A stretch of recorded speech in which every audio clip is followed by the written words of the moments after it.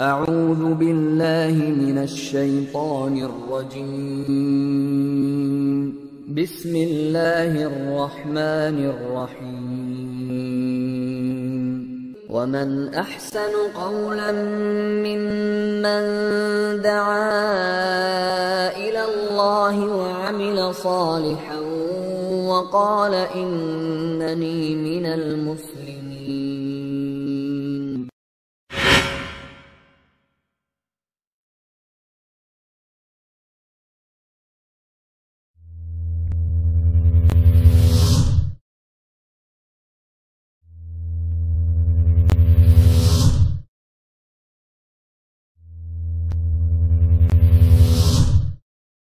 توبہ کیجیے۔ گناہوں سے۔ اور میرے جملے کو یاد رکھیے گناہوں میں سب سے بڑا گناہ۔ گناہوں میں سب سے بڑا گناہ ایک اللہ، مالک و خالق کی ذات و صفات و عبادت میں کسی اور کو شریک کرنا پیارے حبیب محمد محمد کریم صلی اللہ علیہ وسلم. فداہ ابی و امی. ایک صحابی آتے ہیں پیارے حبیب کے سامنے سجدہ کرتے ہیں. آپ پوچھتے ہیں، تو نے یہ کیا کیا؟ کہا، میں نے قیصر و قصرہ کے بادشاہوں کو دیکھا. ان کے سامنے پیش ہونے والوں کو دیکھا. وہ آتے ہیں، اپنے بادشاہ کے سامنے ماتھا ٹیکتے ہیں. تو میرے جی میں آیا، اگر دھرتی میں کسی مخلوق کے سامنے سجدہ ہو سکتا ہے تو وہ محمد الرسول اللہ ہے صلی اللہ علیہ وسلم۔ پیارے حبیب پوچھتے ہیں، اے میرے صحابی، اگر تو میری قبر کے پاس سے گزرے، کیا تو اس کو سجدہ کرے گا؟ کہا، نہیں یا رسول اللہ صلی اللہ علیہ وسلم۔ تو کہا، پھر مجھے بھی سجدہ نہ کر، یہ سجدہ حق ہے صرف عرش والے اللہ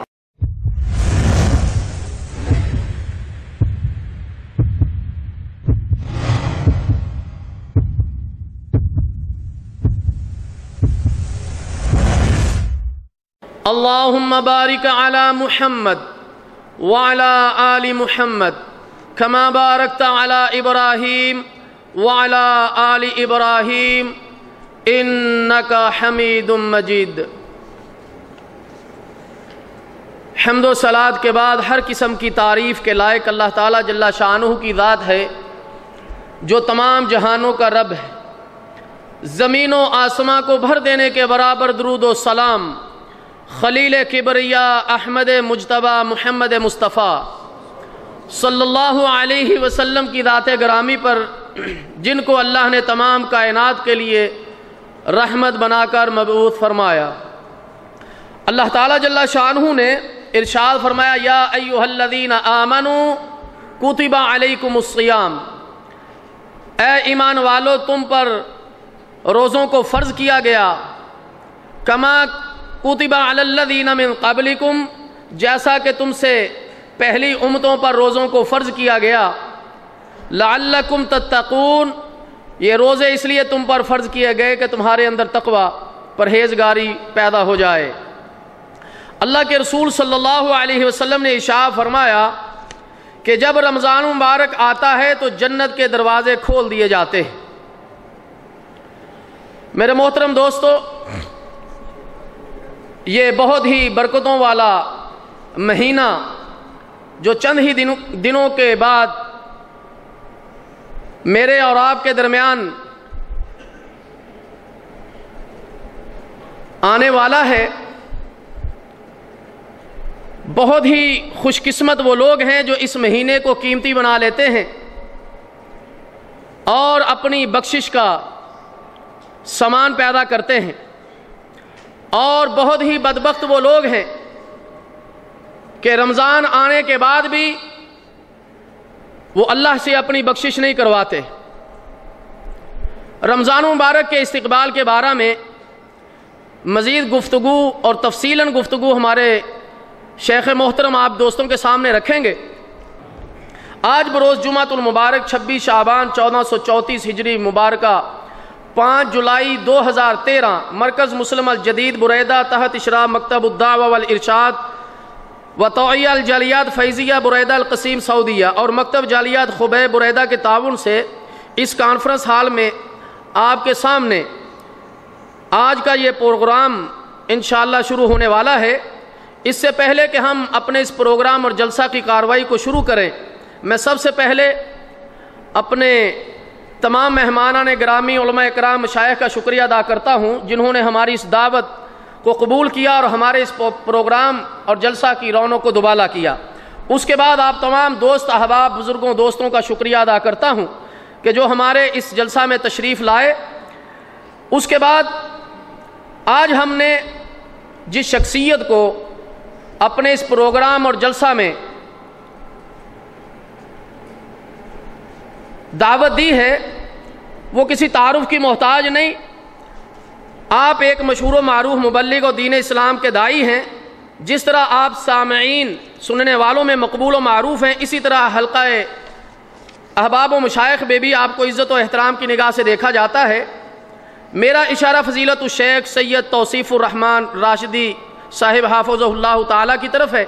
اللہ تعالیٰ جل شاہ سے یہ دعا ہے کہ اللہ تعالیٰ جل شاہ شیخ محترم کے علم میں، عمل میں، عمر میں برکت عطا فرمائے اور ہر قسم کے شر و شرور سے اور دشمنوں سے آپ کی اللہ تعالیٰ جل شاہ حفاظت فرمائے اور آپ سے زیادہ سے زیادہ قرآن و سنت کی دعوت کا اللہ تعالیٰ جل شاہ کام لے اور اس کام کو پھر قبول و مقبول فرمائیں تو بغیر کسی تاریخ، تاخیر کے میں شیخ محترم کو دعوت دیتا ہوں کہ آپ سٹیج پر تشریف لائیں۔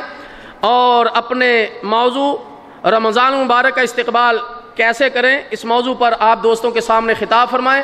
اللہ تعالیٰ جل شاہ ہمیں صحیح معنوں میں قرآن و سنت کو سن کر اس پر عمل کرنے کی توفیق عطا فرمائے اور جو کہا جائے، سنا جائے، اگر کہنے سننے میں جو غلطی کتائی ہو جائے، وہ معاف فرمائے۔ تو جزاکم اللہ خیر و احسن الجزا آپ دوستوں کے سامنے تشریف لاتے ہیں سید توصیف الرحمن راشدی صاحب حافظ اللہ تعالی۔ اور آج ان کا جو موضوع ہے، رمضان مبارک کا استقبال کیسے کریں؟ جزاکم اللہ خیر۔ السلام علیکم ورحمۃ اللہ وبرکاتہ۔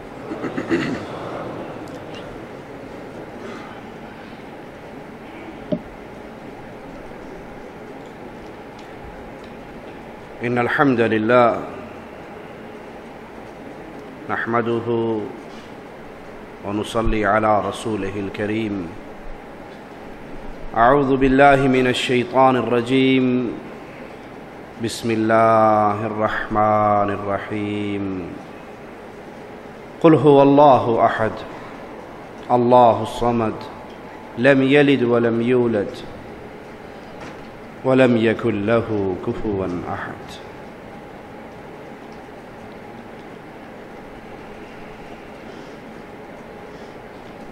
عقل مند تاجر۔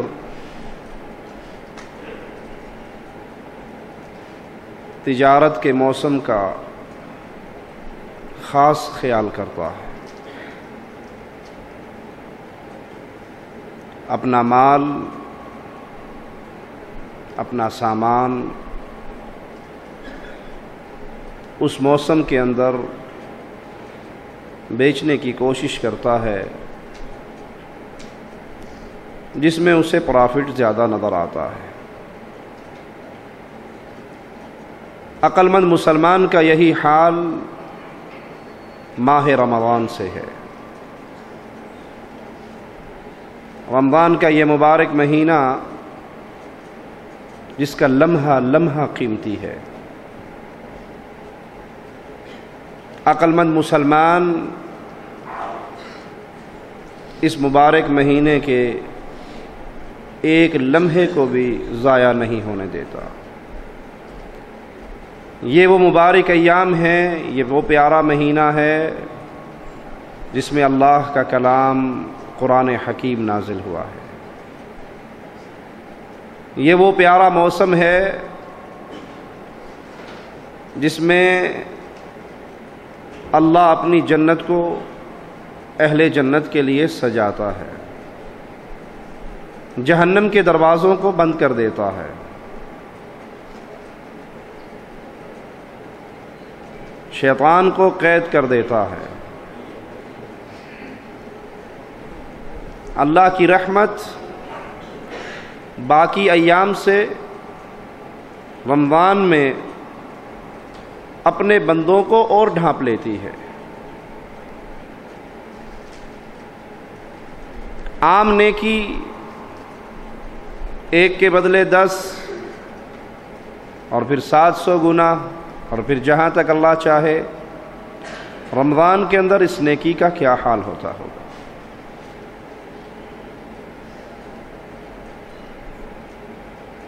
اس ماہ کا استقبال کیسے کریں؟ اس پیارے مہینے میں وہ کرنے والے کون سے کام ہیں جن پہ مسلمان کی خاص نظر ہو؟ سب سے پہلے اس مہینے کا استقبال سچی توبہ سے کریں۔ یہ مبارک مہینہ جس میں چھوٹے چھوٹے عمل انسانوں کے گناہوں کا کفارہ بن جاتے ہیں۔ کسی روزے دار کی افطاری کروا دو مالک اپنے مزدور کی ڈیوٹی کے ٹائموں میں کمی کر دے۔ حالت ایمان میں انسان روزہ رکھ لے۔ حالت ایمان میں انسان قیام کر لے۔ حالت ایمان میں شب قدر کو جاگ لے۔ اللہ کی عبادت میں لگ جائے۔ زندگی کے گناہ اللہ کی طرف سے، اس کی رحمت سے معاف ہو جاتے ہیں۔ تو اس موسم کے آنے سے پہلے اپنا معاملہ اپنے اللہ کے ساتھ صاف کیجیے۔ سچی توبہ کیجیے۔ اپنی زندگی میں انقلاب لائیے، تبدیلی اور چینج لائیے۔ اگر یہ رمضان آئے، جیسے اس سے پہلے آیا تھا، اور گزر جائے، جیسے پہلے گزر گئے، اور میری زندگی میں کوئی تبدیلی نہ آئے میں وہیں پہ کھڑا ہوں، جہاں رمضان سے پہلے کھڑا تھا، تو بد نصیب ہے وہ انسان جس نے ماہ رمضان کو پایا، لیکن عبادت کر کے، اللہ کو راضی کر کے اپنے گناہوں کو معاف نہ کروا سکا۔ توبہ کیجیے گناہوں سے۔ اور میرے جملے کو یاد رکھیے گناہوں میں سب سے بڑا گناہ۔ گناہوں میں سب سے بڑا گناہ ایک اللہ مالک و خالق کی ذات و صفات و عبادت میں کسی اور کو شریک کرنا ہے۔ یہ سب سے بڑا گناہ۔ صحیح ہے کہ رمضان آنے سے پہلے انسان کو توبہ کرنی چاہیے، گناہوں پہ توبہ۔ کوئی بے نماز ہے تو توبہ کرے، کوئی جھوٹ بولتا ہے تو توبہ کرے، کوئی چگلیاں اور غیبت کا رسیہ ہے تو توبہ کرے۔ کسی کے دن اور رات ڈش انٹینے کی گندی محفلوں میں گزرتے ہیں تو وہ توبہ کرے۔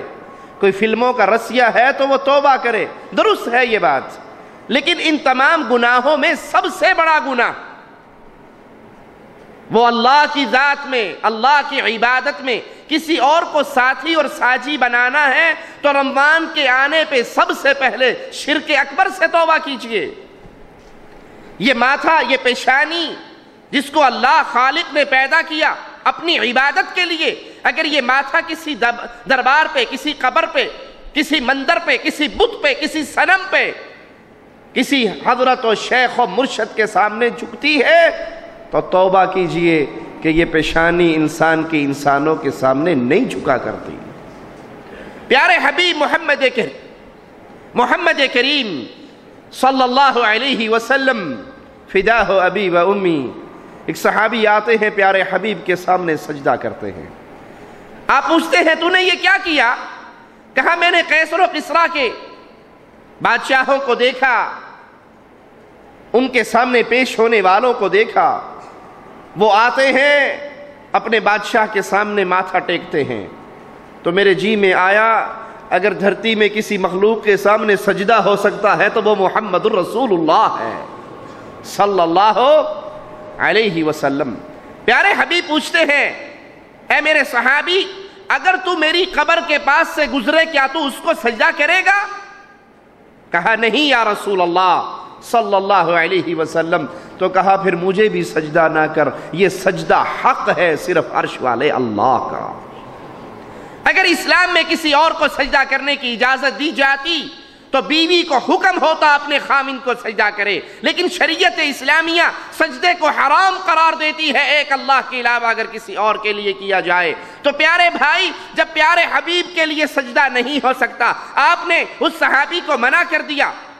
اور اپنی قبر کے بارے میں سوال کیا کہ میری قبر کے پاس سے گزرے تو کیا سجدہ کرے گا؟ تو کائنات میں وہ کون سے قادری صاحب ہیں؟ وہ کون سے حضرت صاحب ہیں؟ وہ کون سے پیر صاحب ہیں؟ وہ کون سے شیخ صاحب ہیں جن کے لیے سجدہ ریز کی ہو؟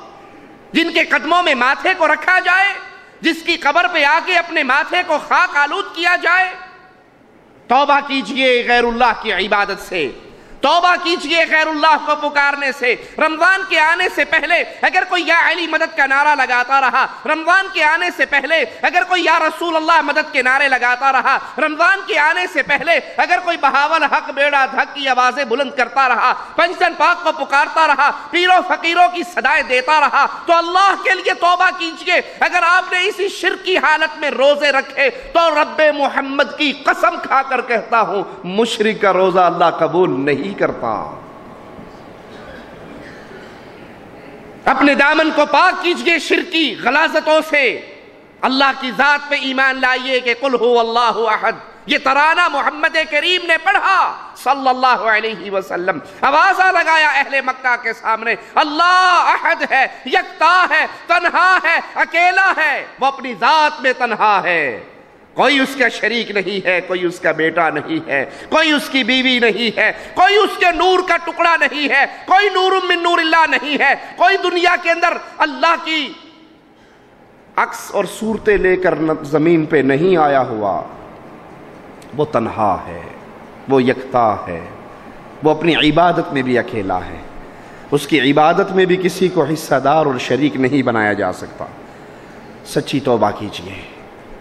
شرک سے اپنے آپ کو بچائیے، بدعات سے اپنے آپ کو بچائیے۔ آپ نے دیکھا نہیں بچوں کو؟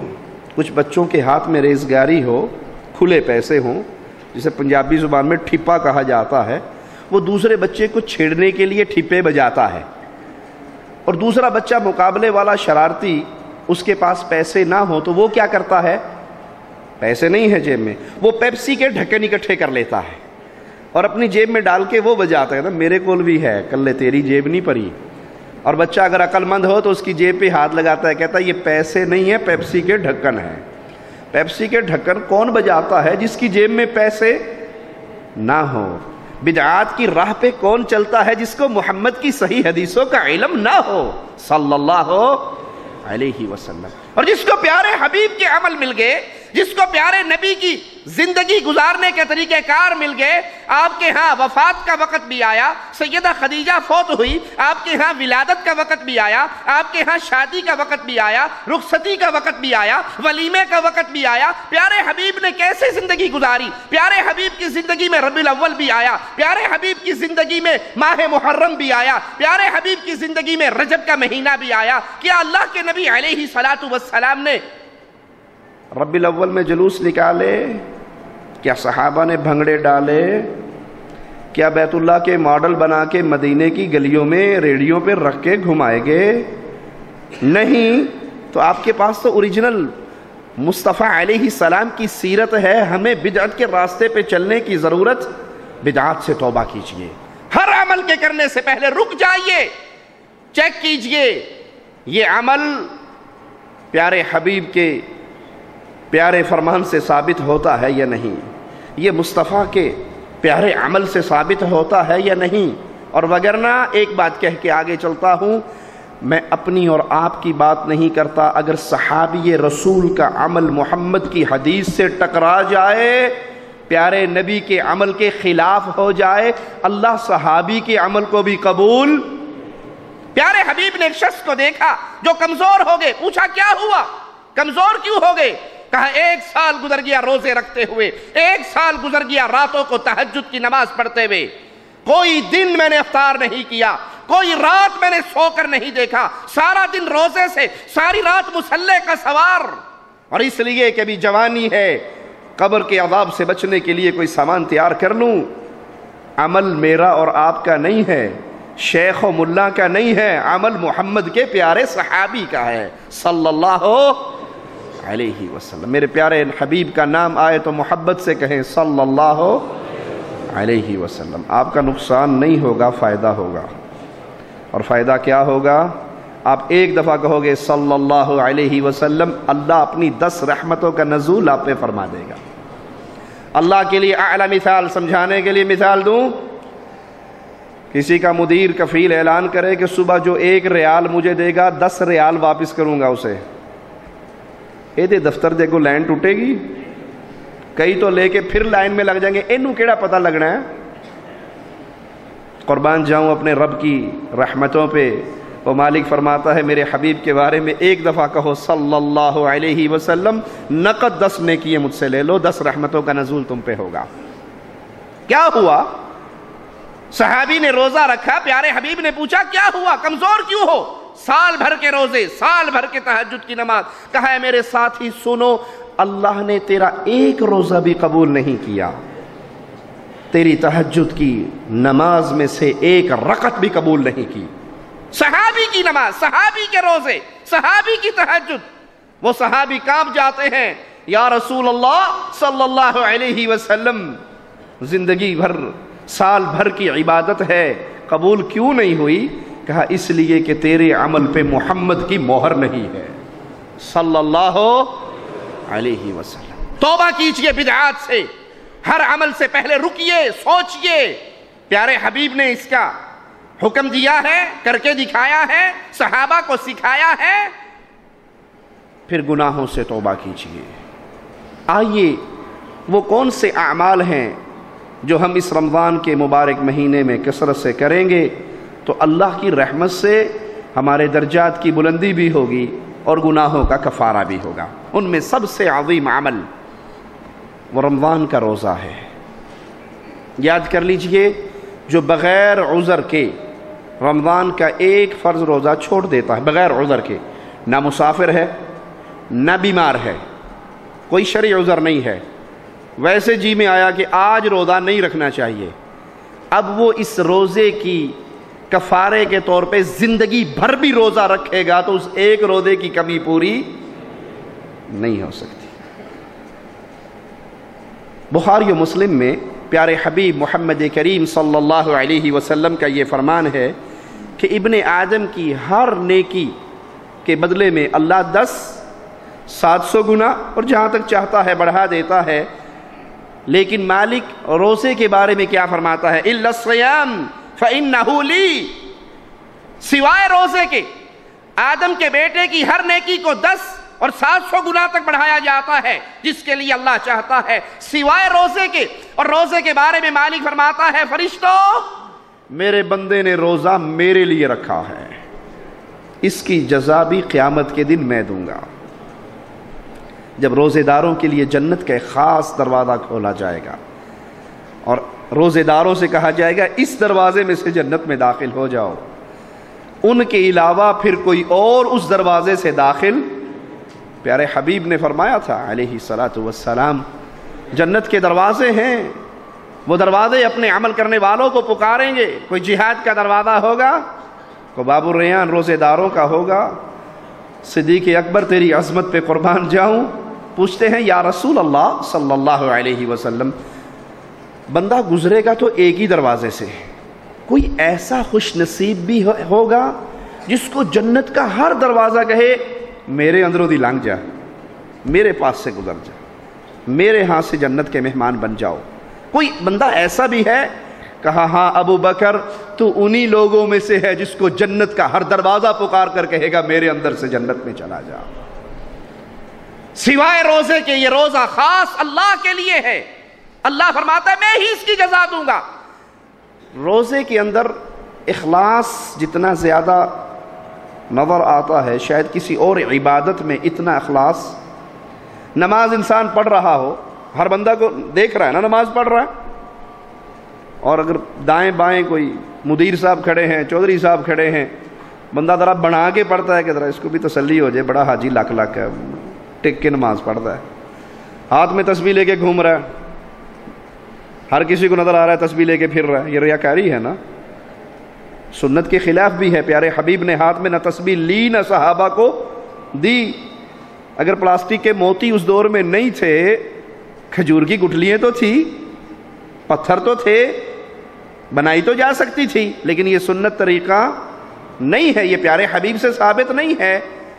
رسول اللہ صلی اللہ علیہ وسلم کی پیاری زندگی سے جو عمل ثابت ہے، وہ کرنے میں اجر ہے۔ زیادہ کام کرنے پہ اجر نہیں۔ اسلام کا اصول یاد رکھیے، زیادہ کام کرنے پہ اجر نہیں مسنون کام کرنے پہ اجر ہے۔ لیکن جب روزہ انسان رکھتا ہے، یہ تو خالص اللہ اور بندے کا معاملہ ہے۔ آپ کمرے کے اندر ہو، کوئی اور آدمی بھی نہیں ہے۔ فریج کے اندر ٹھنڈے جوس اور پانی پڑا ہے۔ پیو گے؟ جی؟ کیوں؟ رحمان نے روکا ہوا ہے۔ یہ خاص اخلاص والا معاملہ ہے۔ اور مالک فرماتا ہے، یہ روزہ میرے لیے ہے، اس کی جزا بھی میں دوں گا۔ بخاری و مسلم میں پیارے حبیب محمد کریم صلی اللہ علیہ وسلم کا فرمان ہے۔ توجہ سے اس حدیث کو سنیے گا۔ اور آخری گفتگو کے آخری کونے تک ان الفاظ کو اپنے دل و دماغ میں تازہ رکھیے گا۔ من صام رمضان ایمانا و احتسابا، غفر له ما تقدم من ذنبه۔ جو انسان روزہ رکھے رمضان کا۔ کیا ہر روزے دار کے گناہ معاف ہوں گے؟ کیا ہر روزے دار باب الریان سے جنت میں جائے گا؟ کیا ہر روزے دار کو بدلہ قیامت کے دن مالک دے گا؟ شرط لگائی ہے میرے رب نے۔ پیارے حبیب کی مبارک زبان سے دو شرطیں گنوائی ہیں میرے اللہ نے۔ جو رمضان کا روزہ رکھے، شرط کیا ہے؟ ایمان و احتسابا۔ مومن ہو مومن ہو، مشرق کا روزہ میرا اللہ کبھی قبول نہیں کرتا۔ وغیرہ اسلام کے آنے سے پہلے عاشورے کا روزے کا رواج تھا۔ لوگ روزہ رکھتے تھے۔ ایمان ہے تو روزے قبول۔ اور اگر شرک کی لعنت موجود ہے، غیر اللہ کی عبادت کرتے ہیں۔ قبروں کا طواف ہوتا ہے، مردوں کو پکارا جاتا ہے۔ ان کو داتا و گنج بخش، غریب نواز و بندہ، نواز و بندہ پرور سمجھا جاتا ہے۔ ان کو غوث اعظم سب سے بڑا مددگار سمجھ کے پکارا جاتا ہے اور روزہ بھی رکھا جاتا ہے، تو رب محمد کی قسم اس روزے کا فائدہ نہیں ہے۔ کس کا روزہ اللہ کے ہاں قبول ہوگا؟ کون اچر پائے گا؟ جو حالت ایمان میں ہو، جو مومن ہو، جو مشرک نہ ہو۔ اللہ وہ ذات ہے جو اپنی ذات و صفات و عبادت میں کسی کی حصے داری کو برداشت، شراکت کو برداشت، اللہ کے لیے اعلیٰ مثال، سمجھانے کے لیے شراکت پہ ایک مثال دے دوں۔ ارے وہ تو خالق و مالک ہے۔ انسان اپنی عزت و غیرت میں کسی کی شراکت برداشت نہیں کرتا۔ کرتا ہے؟ جی؟ نکاح کرتے ہو نا؟ شادی کرتے ہو؟ بیوی قبول کر کے گھر لاتے ہو اور کسی کی شادی ہونے لگے ایسی لڑکی سے جس کے لیے وہ دس سال سے دعائیں مانگتا آ رہا ہے کہ اللہ میرا بیاہ جدوں بھی ہوئے، فلانی نال ہوئے۔ بہت خوبصورت ہے، بڑی پسند والی ہے، آئیڈیل عورت ہے۔ جی چاہتا ہے میرا نکاح وہاں ہو جائے اور بات بھی پکی ہو گئی۔ لیکن وہ محترمہ نکاح سے آدھا گھنٹہ پہلے آپ کو فون کر کے کہیں جی چودھری صاحب، شیخ صاحب، شاہ صاحب، خان صاحب، حاجی صاحب، میں آپ کے ساتھ نکاح کے لیے تیار ہوں۔ بس ایک شرط ہے، اور وہ شرط یہ ہے کہ ہفتے کے سارے دنوں میں میں آپ کی بیوی رہوں گی، اور ایک دن دو گھنٹے کے لیے میں کہیں اور جایا کروں گی، اور وہ سابقہ منگیتر سے بھی ہیلو ہیلو ہے، اس کو بھی سلام کر آیا کروں گی۔ رشتہ قبول ہوگا؟ بولو، قبول کرو گے؟ یہ جنت سے آئی ہوئی حور ہو تو قبول کرو گے؟ کوئی خان صاحب ہوگا تو فیر ہی مار دے گا۔ ماڑا مرو، دفع ہو جاؤ، جدھر جاتی ہے، ادھر جاؤ، ہمیں تمہارا ضرورت نہیں ہے۔ یہ تم نے کیا کہہ دیا کہ دو گھنٹے کے لیے کسی اور کے پاس؟ سوچئے، آپ نے بیوی کو پیدا کیا؟ جی پیدا کیا بیوی کو؟ راسی کو، خالی کو، مالی کو، اس کے؟ نہیں صرف قبول قبول قبول کہہ کہ اسے گھر لائے ہو نا؟ تین تولا سونا حق میر تسلیم کر کے جو پہلی رات ہی انگوٹھا دے کے کر معاف مینو۔ بیوی کہندی، ٹھیک ہے جی معاف کر دیے تو ناراض نہ ہو، میں نے حق میر معاف کیا اکثر کھا جاتے ہیں نا؟ اور جو اپنی بیویوں کا حق مہر زیادتی کر کے کھا جائے، قیامت کے دن بدکاروں کی صف میں کھڑا ہوگا۔ حق مہر دے کے تین تولے، چار تولے آپ اسے گھر میں لائے، خالق، مالک، رازق اس کے آپ نہیں ہو۔ وہ کسی اور کو آپ کے بستر کا شریک بنانا چاہے، طلاق دے دو گے، قتل و غارت ہو جائے گی۔ ارے، اس رب کے بارے میں کبھی بھی نہیں سوچا جو ماں کے پیٹ میں رزق دیتا رہا۔ جس نے ماں کے پیٹ سے تجھے نکالا، ماں کی چھاتیوں پہ دودھ تیرے لیے پیدا کیا، جس نے ماں کے دل میں تیری محبت کو جگایا۔ جس نے تجھے پیدا ہی اپنی عبادت کے لیے کیا؟ اب تو کہتا ہے کہ نہیں، وہ بھی داتا ہے اور لاہور والا بھی داتا ہے۔ وہ بھی گنج بخش ہے اور بابا حجویری بھی گنج بخش ہے۔ وہ بھی غریب نواز ہے اور اجمیر والا بھی غریب نواز ہے۔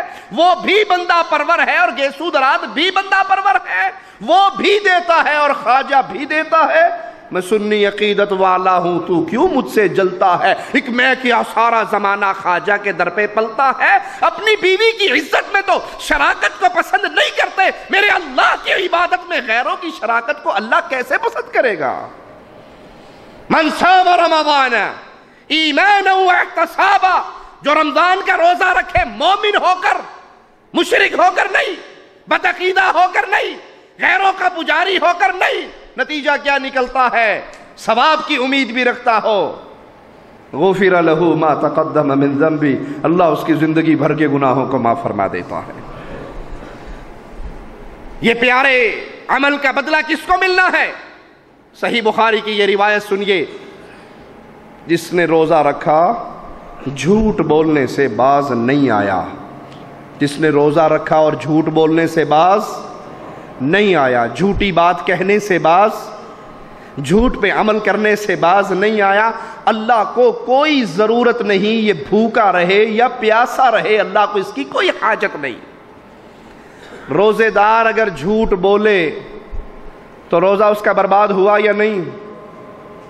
اگر وہ جھوٹ بولے جھوٹ بولے یہ کہے جی فلاں نے آپ کو گالی دی اور اس غریب نے گالی نہ دی ہو، جھوٹ ہوا نا؟ زندگی کے معاملات میں جھوٹ بولے تو روزہ برباد، اور جو روزہ رکھ کر لوگوں کو یہ درس دے کہ اللہ ہماری سنتا نہیں ہے، پیروں کی موڑتا نہیں ہے، یہ جھوٹ نہیں ہے؟ ارے، یہ تو سب سے بڑا جھوٹ ہے جو اللہ پہ الزام لگاتا ہے کہ اللہ عوام کی سنتا نہیں ہے، پیروں باپوں کی موڑتا نہیں ہے، ہماری تمہارے آگے، تمہاری اس کے آگے۔ آؤ اللہ کے در کو چھوڑ کر بابوں کے در پہ جھک جاؤ۔ یہ اللہ کے لاڈلے ہیں، یہ اللہ کے رتے ہوئے ہیں، یہ اللہ کے پہنچے ہوئے ولی ہیں۔ یہ اللہ سے لے کر دیتے ہیں، اللہ ڈائریکٹ نہیں دیتا۔ اس سے بڑا کوئی اور جھوٹ بھی ہوگا؟ سلیمان علیہ السلام لشکر کو لے کے چل رہے ہیں۔ بارش کا سوال کرنے کے لیے اور جہاں پر آ کے سوال کرنا تھا، اللہ ایک چونٹی کا منظر دکھاتا ہے، جس نے پشت کو زمین پہ تپتے ہوئے ریت پہ رکھا ہوا ہے، ٹانگوں کو آسمان کی طرف بلند کیا ہوا ہے اور زبان سے کہہ رہی ہے، یا رب، انی خلق من خلقک۔ اللہ میں بھی تیری مخلوق ہوں، جہاں سلیمان نبی تیری مخلوق ہے، چیونٹی بھی تیری مخلوق ہے، اس کو پیاس لگی ہے، مجھے پیاس لگی ہے، اس نے پانی مانگنا ہے، میں بھی پانی مانگ رہی ہوں، وہ بھی تیرے در کا منگتا ہے، میں بھی تیرے در کی منگتی ہوں۔ سلیمان علیہ السلام کہتے ہیں، واپس چلو۔ ساتھی کہتے ہیں، بارش کی دعا تو کر لو۔ جھوٹ بولنے والوں کہ رب ساڑی سندا نہیں اینا دی موڑدا نہیں۔ جواب سنیے سلیمان علیہ السلام کا نبی کے مانگنے سے پہلے ایک چیونٹی نے مانگ لیا ہے۔ نبی کے مانگنے سے پہلے ایک چیونٹی نے مانگ لیا ہے۔ رب نے نبی سے پہلے اس کی سن کے سب کو پلا دیا ہے۔ اگر کوئی جھوٹ بولنے سے باز نہ آئے تو اس کا روبہ برباد۔ اور جو شرک کی دعوت دیتا ہے شرکی عقائد رکھتا ہے، شرک پہ عمل کرتا ہے، وہ تو کائنات کا سب سے بڑا جھوٹا ہے۔ اس کا روبہ کیسے قبول ہوگا؟ اپنی دامن کو پاک کیجیے ان غلاظتوں سے، ان بدعقیدگیوں سے۔ روزے کا خیال کیجیے۔ روزہ رکھنے کے بعد زبان سے گندے جملے نہ نکلیں۔ پیارے حبیب، کتنا پیارا درس دے رہے ہیں۔ اگر تم سے کوئی لڑائی کرے، اگر تم سے کوئی جھگڑا کرے، مارا پیٹی پہ اترے، تو جواب میں کیا کہو؟ میں روزے دار ہوں۔ میں کیا ہوں؟ میں روزے دار ہوں۔ میرے ہاتھ کے بھی روزہ ہے، میری آنکھ کا بھی روزہ ہے، میرے پیٹ کا بھی روزہ ہے، میرے منہ کا بھی روزہ ہے، میری زبان کا بھی روزہ ہے۔ بھائی، تو لڑنا چاہتا ہے تیری مرضی، لیکن میں اپنی زبان سے تجھے وہ باتیں نہیں کہہ سکتا جو تو مجھے کہہ رہا ہے۔ ابو بکر صدیق رضی اللہ عنہ ورضا ایک یہودی ان سے جھگڑتا ہے اور گالیاں دیتا ہے۔ صدیق اکبر خاموش کھڑے ہیں۔ پیارے حبیب، صدیق اکبر کو دیکھ رہے ہیں، مسکرا رہے ہیں۔ یہودی گالیاں دے رہا ہے۔ ابو بکر صدیق نے بھی ایک جملہ اس کو دہرا دیا جو اس نے کہا، اسے لوٹا دیا۔ پیارے حبیب، چل پڑے۔ صدیق کائنات کہنے لگے، یا رسول اللہ صلی اللہ علیہ وسلم، جب تک وہ گالیاں دیتا رہا، میں خاموش رہا، آپ مسکراتے رہے، اور اب میں نے اگر اس کو جواب دے دیا، آپ چل پڑے۔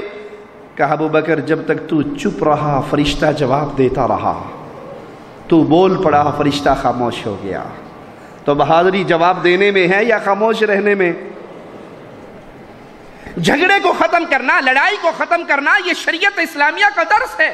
پیارے حبیب علیہ السلام فرماتے ہیں، اگر کوئی سچا ہونے کے باوجود اپنے حق کو چھوڑ دیتا ہے، کوئی کہے یہ قلم میری ہے، یہ پچاس ریال میرے ہیں، یہ چیز میری ہے اور وہ اس کی نہیں ہے، لیکن جس کی ہے وہ سچا بھی ہے، حقدار بھی ہے، اپنا حق صرف اس لیے چھوڑتا ہے کہ جھگڑا نہ ہو، لڑائی نہ ہو محمد کریم فرماتے ہیں، ایسے بندے کو میں جنت میں چبوترے کی گارنٹی دیتا۔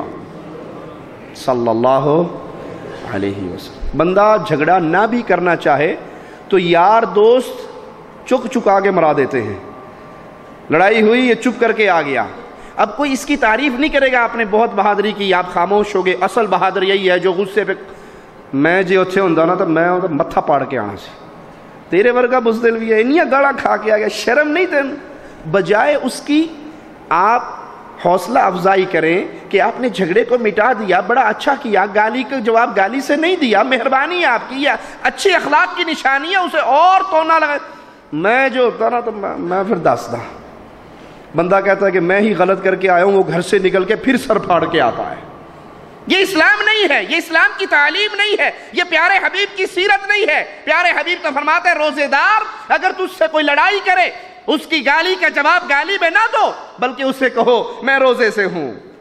رمضان کے اندر ایک اور بڑا پیارا عمل جو انسان کے گناہوں کا کفارہ بن جاتا ہے، جس پہ خاص توجہ کی ضرورت ہے، وہ اللہ کے یہ قیام کرنا تراوی پڑھنا، تہجد پڑھنا، نوافل پڑھنا۔ بخاری و مسلم میں پیارے حبیب علیہ السلام کا یہ فرمان، من قام رمضان جو رمضان میں قیام کرے۔ بنیادی شرطیں ساتھ چل رہی ہیں اور آخر تک چلیں گی۔ قیام کرنے والا کون ہو؟ مومن ہو، مشرک نہ ہو، ثواب کی امید رکھتا ہو۔ لوگوں کو دکھلانے کے لیے، کئی لوگ روزہ بھی لوگوں کو دکھلانے کے لیے رکھتے ہیں نا۔ اور جی میں نے اصل میں روزہ اس لیے رکھا ہے کہ اگر نہ رکھوں گا تو وہ کمپنی میں دوست کیا کہیں گے، ہٹا کٹا ہو کر روزہ نہیں رکھ رہا۔ تو اس لیے بہتر ہے کہ روزہ ہی رکھ لیا جائے۔ اس روزے کا ثواب جو آپ نے لوگوں کو دکھانے کے لیے رکھا ہے۔ اس تراوی کا ثواب جو آپ نے لوگوں کو دکھلانے کے لیے، اہل ایمان کی حالت کیا ہوا کرتی تھی؟ وہ عبادت کرتے تھے اللہ کو راضی کرنے کے لیے۔ پیارے حبیب علیہ جب سیدہ حفصہ سے ناراض ہوئے، تو جبرائیل نے آ کر کیا کہا؟ رجوع کیجیے یا رسول اللہ صلی اللہ علیہ وسلم، انہا قوامت صوامہ۔ حفصہ، اللہ کو بڑی پسند ہے، کیونکہ اس کے اندر دو بڑی پیاری خوبیے ہیں، یہ روزے بہت رکھتی ہے، قیام بہت کرتی ہے۔ عبادت کرنا، طواف کرنا، حج کرنا، عمرہ کرنا، قیام کرنا، روزے رکھنا، یہ اللہ کی رضا کے لیے تھا۔ آج تبدیل ہوتا جا رہا ہے ہر چیز لوگوں کے دکھلانے کے لیے۔ آپ نے دیکھا نہیں؟ آپ کو حج عمرے کا موقع ملے۔ آج سے دس پندرہ سال پہلے لوٹیے۔ آپ کو طواف کرتے ہوئے لوگ روتے ہوئے نظر آتے تھے۔ آنکھوں میں آنسو ہوتے تھے۔ آج طواف کرتے ہوئے کیا حال ہوتی ہے؟ وہ دوسرے کو کیمرہ پکڑایا ہوا ہوتا ہے، خود طواف کرنا میں ہاتھ چکلے ذرا فوٹو لائیں، میرا فوٹو لائیں۔ یہ ہاتھ اٹھتے تھے اللہ کو راضی کرنے کے لیے۔ یہ ہاتھ اٹھتے تھے اللہ سے مانگنے کے لیے۔ یہ ہاتھ اٹھتے تھے اپنے گناہوں کی معافی کا سوال کرنے کے لیے۔ آج یہ ہاتھ اٹھتے ہیں، اللہ سے لو نہیں لگتی کیمرے والے۔ اے سیدھا ہوئی ذرا دیکھیے۔ ہاں ٹھیک ہے، پیچھے کعبہ ہے، اگے کیمرہ ہے۔ میں ہاتھ چکے ہیں۔ بڑا رو رہا ہے۔ یہ ڈرامہ نہیں ہے۔ یہ اللہ کے ساتھ مذاق نہیں ہے۔ کیا ہماری یہ حرکتیں نہیں ہیں؟ یہ ہاتھ اٹھا کے تصویر کیوں اتروا رہا ہے کہ بڑی ساری کروا کے، فریم کروا کے اپنے انڈیا، پاکستان جا کے بیٹھک میں لگاؤں گا اور الیکشن کا سیزن آئے تو کہوں گا، دیکھو جی میں حج کر کے آیا ہوں، آپ کے ووٹوں کا صحیح حقدار۔ حاجی اللہ رکھا۔ انا للہ و انا الیہ راج یہ ساری عبادتیں کر کے ہم نے دنیا کے چرچے لینے ہیں تو اس سے بڑی بد نصیبی اور کیا ہوگی؟ یاد کر لیجیے، چرچا ہوتا ہے۔ چرچے بھی دو طرح کے ہیں۔ ایک چرچا میں بھی سنا دوں پیارے حبیب علیہ صلاحت وسلام فرماتے ہیں، جس سے اللہ محبت کرتا ہے۔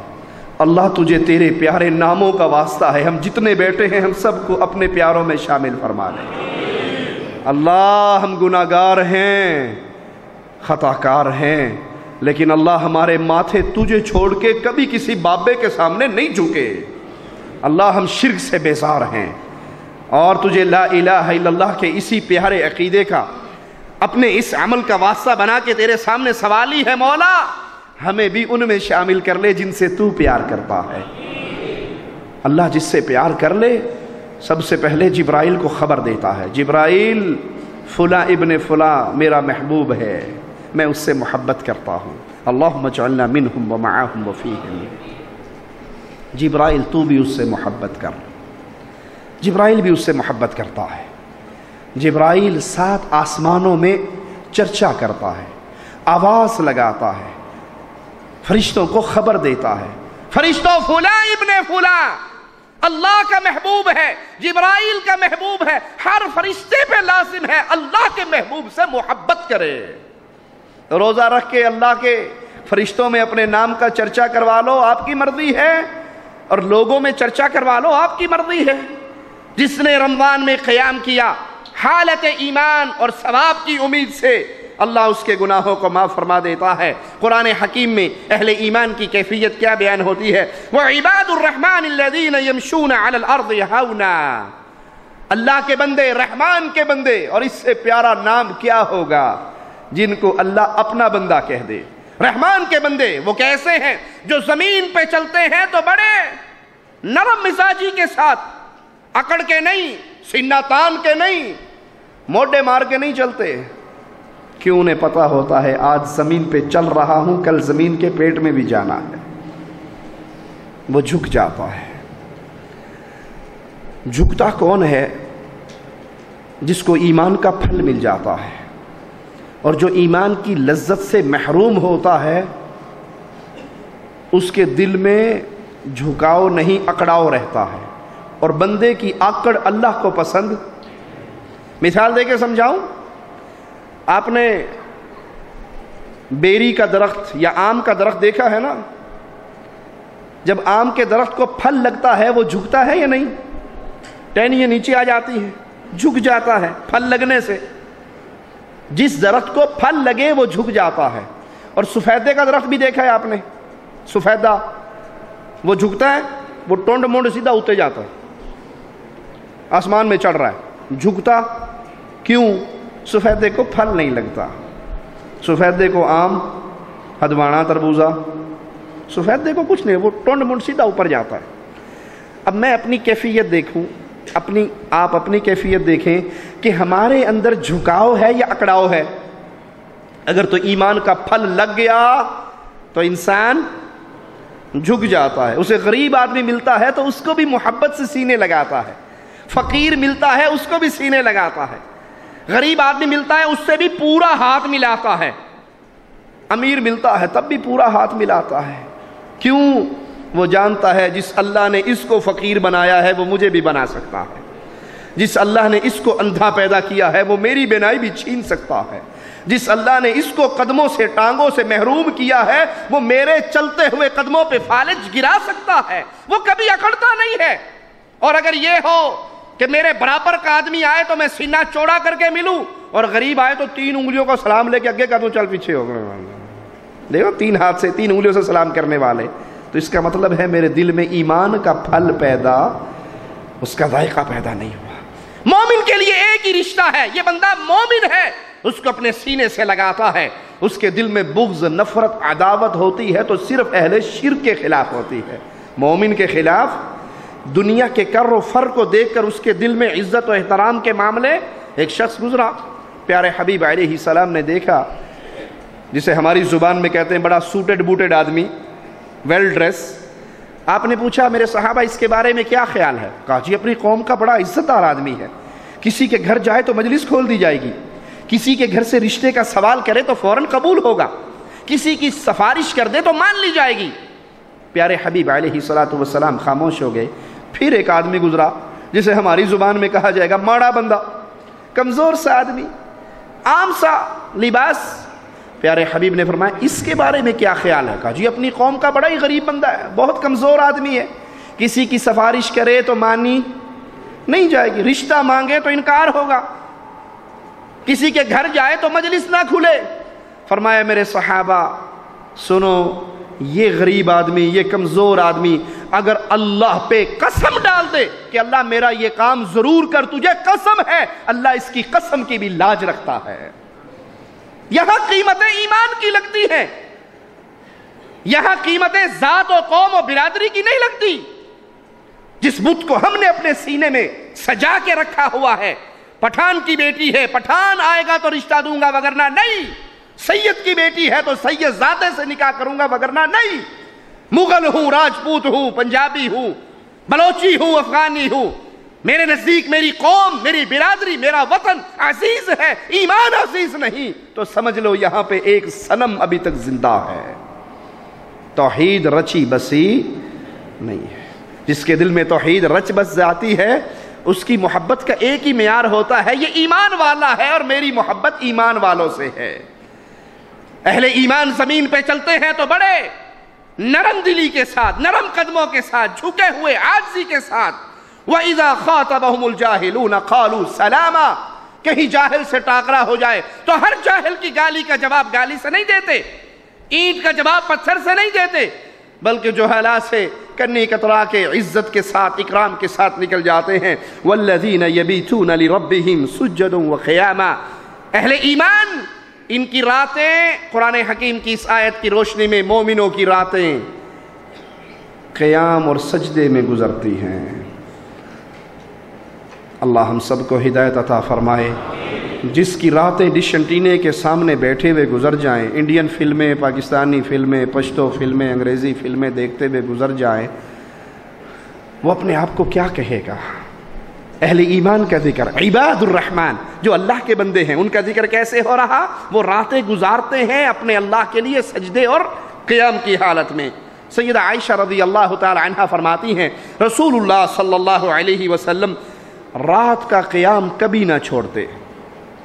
رات کا قیام، تہجد کی نماز کبھی نہ چھوڑتے۔ اگر بیمار ہوتے، تھکے ہوئے ہوتے، کھڑے ہو کر نہ پڑھ سکے تو پیارے حبیب بیٹھ کے ہی پڑھ لیتے۔ اگر اللہ کے حبیب بیمار ہوتے، تھکے ہوئے ہوتے، اس حالت میں بھی تہجد کی نماز ترک نہ کرتے اور بیٹھ کے ادا کر لیتے۔ پیارے حبیب کے قدم مبارک سوج جاتے۔ سیدہ کائنات، مومنوں کی ماں عائشہ رضی اللہ تعالی عنہا کہتی ہیں، یا رسول اللہ صلی اللہ علیہ وسلم، آپ تو معصوم عن الخطا ہیں۔ آپ کے اگلے پچھلے معاف ہیں۔ کوئی گناہ آپ کے ذمے نہیں ہے۔ اتنی زیادہ عبادت، اتنے لمبے قیام، اتنے لمبے رکوع و سجود آپ کیوں کرتے ہیں؟ آپ کے تو اگلے پچھلے معاف ہیں، معصوم عن الخطا ہیں۔ اور آپ کے قیام کی یہ کنڈیشن ہے کہ قدم مبارک سوچ گئے پیارے حبیب کا جواب سنیے، اللہ کا واسطہ دے کر اپنے کانوں کی کھڑکیوں کو کھولیے میرے ان جملوں کو صدیقہ کائنات کے جملوں کو اپنے دل میں اتاریے۔ فرماتی ہیں، پیارے حبیب سے میں نے یہ سوال کیا تو مصطفیٰ نے کہا، عائشہ، جس اللہ نے مجھ پہ اتنا بڑا کرم کیا ہے، میں اس کا عبادت گزار، شکر گزار بندہ نہ بنوں؟ کیا نہ بنوں؟ شکر گزار؟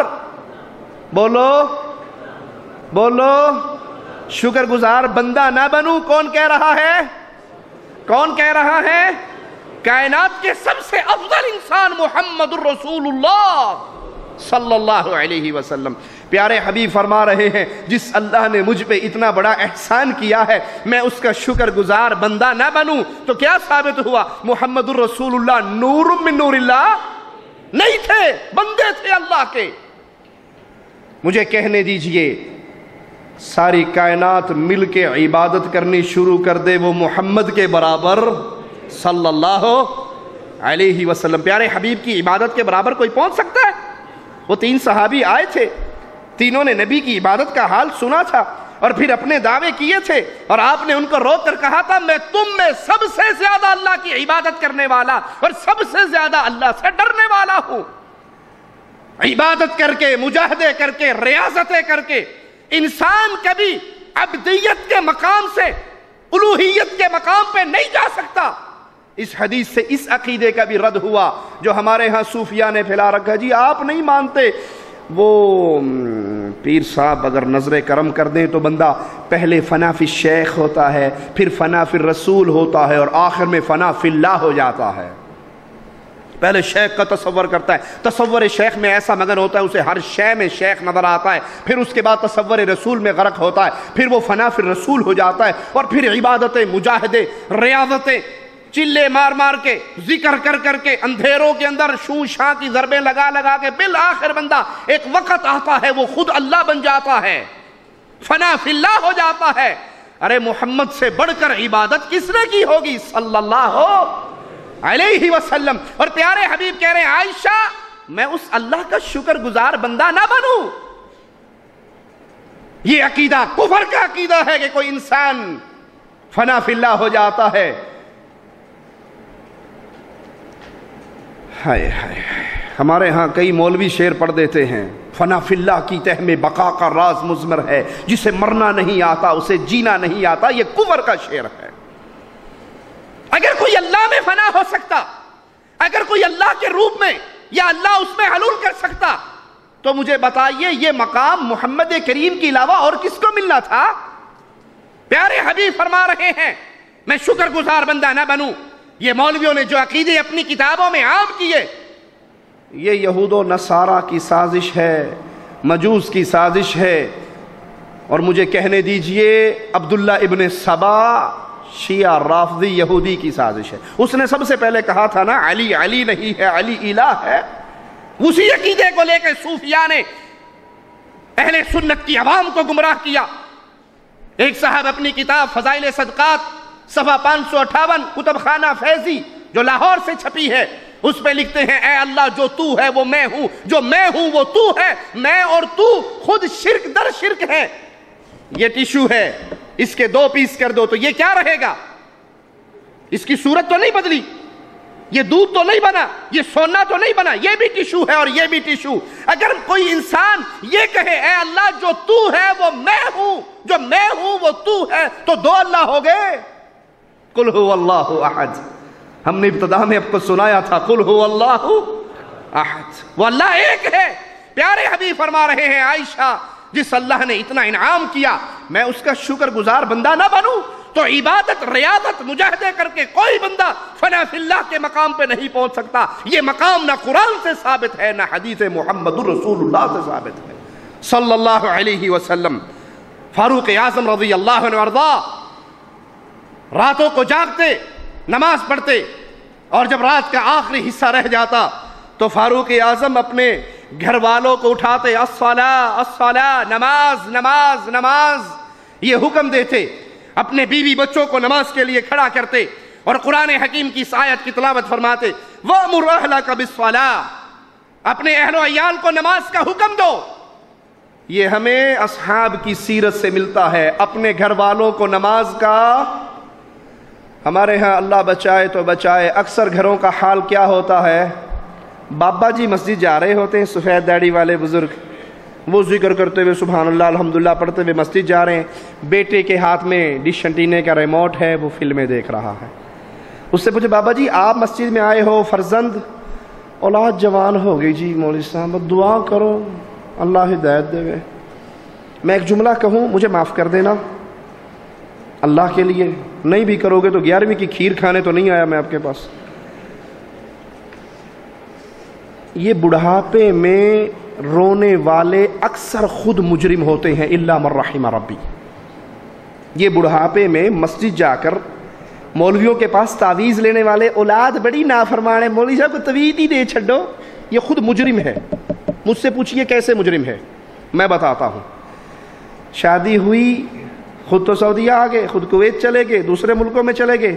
اب بیگم صاحبہ پوچھتی ہے جی وہ دن نہیں گزرتا کیبل لگوا دیجیے مجھے قربان چاہیے بڈی دی گل نہیں ماننی تو کہ ماننی ہے؟ وہ گھر کے اندر ڈش انٹینا کیبل، فلمیں، گانے دے کے جاتے ہو یا نہیں؟ جی ابھی اولاد آئی نہیں ہے۔ اولاد سے پہلے یہ سلوک ہو رہا ہے۔